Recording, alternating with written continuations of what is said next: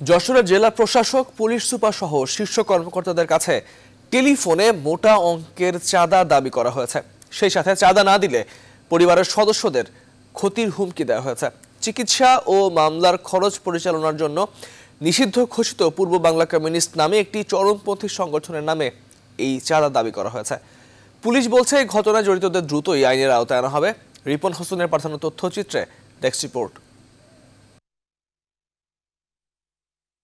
জেলা প্রশাসক Mohammad Tamizul Islam Khan, police super Mohammad Ashraf Hossain, civil surgeon Sheikh Abu Shahin, অতিরিক্ত জেলা প্রশাসক মোহাম্মদ রফিকুল হাসান এরকম বিভিন্ন কর্মকর্তার কাছে চাঁদা দাবি করেছে নিষিদ্ধ ঘোষিত পূর্ব বাংলা কমিউনিস্ট নামে একটি চরমপন্থী সংগঠন।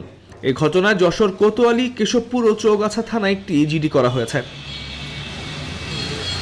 সদর উপজেলা স্বাস্থ্য ও পরিবার পরিকল্পনা কর্মকর্তা জানান তার মোবাইলে ফোনে চাঁদা চাওয়া হয়। চাঁদা না দিলে তাকে ও তার পরিবারের সদস্যদের হত্যা করা হবে বলে এমনও হুমকি দেওয়া হয়। এই বিষয়ে পুলিশ বা সাংবাদিক মিডিয়া কাউকে কোনো- কোনো প্রকার কিছু জানাই তাহলে আমাকে অথবা আমার পরিবার সহ আমার আত্মীয় স্বজন যারা আছে তাদেরকে জীবনাশের হুমকি প্রদান করা হয়। একইভাবে জেলা প্রশাসকের কাছে পঞ্চাশ লাখ টাকা দাবি করা হয়েছে। দুপুরবেলা আমার সামনে দুইজন ছিল তারা দুইজন পেয়েছে। রেভিনিউ এই দুইজন পেয়েছে আমিও পেয়েছি।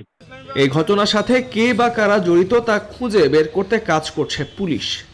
টুমকি কিছু জন্য একটা মেসেজ দিছে ওই মেসেজে আমরা কাজ করতেছি আর সিভিল সার্জনদের বা ডাক্তারদের নাকি এই ধরনের হুমকি টুমকি বা মেসেজ দিয়ে থাকতে পারে। এটা নিয়ে কাজ চলতেছে।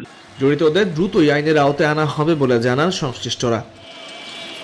Desk report news twenty